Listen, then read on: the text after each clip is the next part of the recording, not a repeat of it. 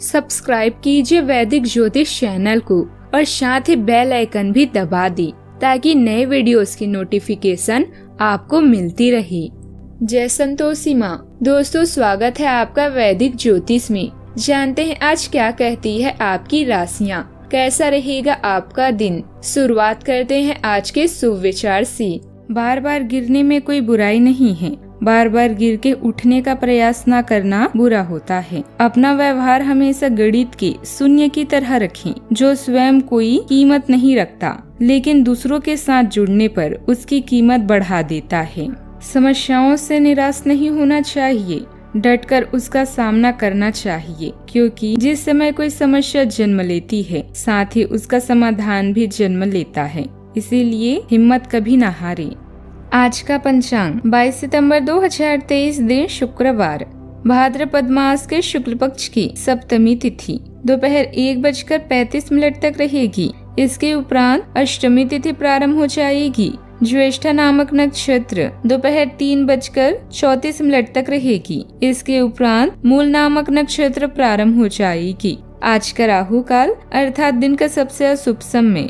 सुबह दस बजकर तैतीस मिनट से, ग्यारह बजकर चालीस मिनट तक रहेगा। आज का भी जीत मुहूर्त, अर्थात दिन का सबसे शुभ समय, सुबह ग्यारह बजकर अड़तालीस मिनट से, बारह बजकर छत्तीस मिनट तक रहेगा। आज चंद्रमा वृश्चिक राशि पर, दोपहर तीन बजकर चौतीस मिनट तक रहेगी। इसके उपरांत धनु राशि पर संचार करेगी और आज सूर्य कन्या राशि पर रहेंगे। मकर राशि 22 सितंबर 2023 दिन शुक्रवार। आपके पद में बदलाव आपके काम को भी बदल सकता है। अपने काम में आपको अधिक अधिकार प्राप्त होंगे। आपका नेतृत्व मूल्यवान और ज़रूरी है। उस सम्मान का आनंद ले जो दूसरे अभी आपको दे रहे हैं।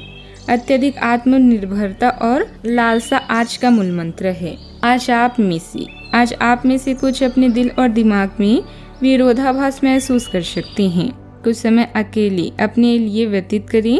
आज आपको अपने ज़रूरी काम समाप्त करने की आवश्यकता है।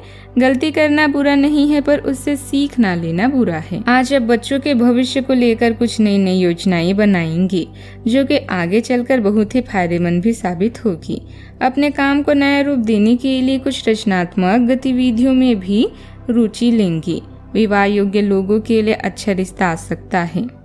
किसी भी बात में पछताने की वजह से खुद के लिए विश्वास कम न होने दें। वर्तमान में बदलाव करना मुश्किल रहेगा। अपने कर्तव्य और जिम्मेदारियों को ठीक से निभाने की कोशिश करें। पुरानी बातों के कारण कोई व्यक्ति आप पर दबाव बनाने की कोशिश कर सकता है। स्टॉक मार्केट में नुकसान होने की संभावना है। रिलेशनशिप सुधारने का मौका मिल सकता है। एसिडिटी के कारण सेहत बार बार बिगड़ सकती है। एसिडिटी दूर करने की कोशिश करें। सावधानियाँ। क्रोध आने जैसी समस्या बनेगी अपनी भावनाओं पर काबू रखें क्योंकि ससुराल क्योंकि ससुराल पक्ष के किसी संबंधी के साथ भी वाद विवाद होने जैसी स्थिति बन सकती है। अगर किसी कारणवश यात्रा करनी पड़े तो अपनी सामान का विशेष ध्यान रखें। बात करते हैं लव लाइफ की। चाहत में नोक झोंक होती रहती है। बस इन्हें गंभीर न सोच, बस इन्हें गंभीर न होने दें और समय रहते भी अपनी मतभेदों को दूर कर लें। धन के जुड़े मामलों को रोमांस से दूर रखें। भाई बहन और पड़ोसियों की मदद के लिए आप हमेशा तैयार रहते हैं। यह आपके जीवन का एक ऐसा चरण है, जब आपका ध्यान निजी जीवन से हटकर स्वयं पर भी होगा। आज आप खुद के लिए कुछ स्पेशल करेंगे, जैसे अपने शौक को पूरा करना या अपने किसी खास से मुलाकात। भावनात्मक उतार चढ़ाव आज आपके कार्ड्स में है। कोई समस्या है तो साथी से संपर्क करें, क्योंकि प्यार हर जख्म को भर देता है। बात करते हैं करियर की। आज आप केवल अपने बारे में सोचेंगे और साथ में यह योजनाएँ बनाएँगे कि कैसे कार्यस्थल पर अपनी स्थिति और प्रसिद्धि को बढ़ाया जाए। सार्वजनिक मामलों में आपका अधिक समय गुजरेगा। प्रतिद्वंदी आपको नुकसान पहुँचा सकते हैं, इसीलिए सतर्क रहें।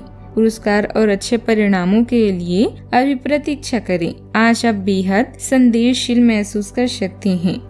आपके दिल और दिमाग में भी मतभेद हो सकता है।